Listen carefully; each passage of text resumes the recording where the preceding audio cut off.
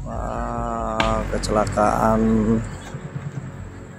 terjadi di wilayah Kampung Cidahon, Jalan Desa Cibodas. Eh, Sebuah minibus jeblos rem masuk ke jurang sedalam 3 meter. Nah, ada beberapa korban luka dan diperkirakan ada satu yang meninggal.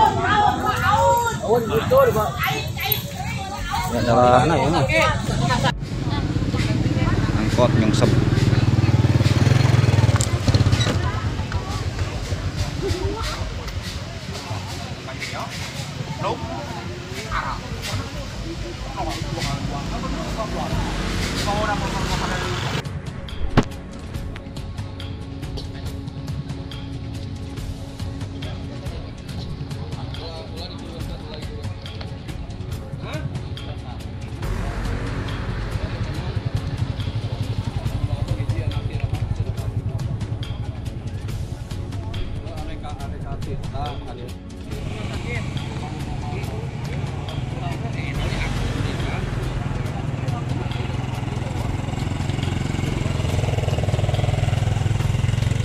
Malit.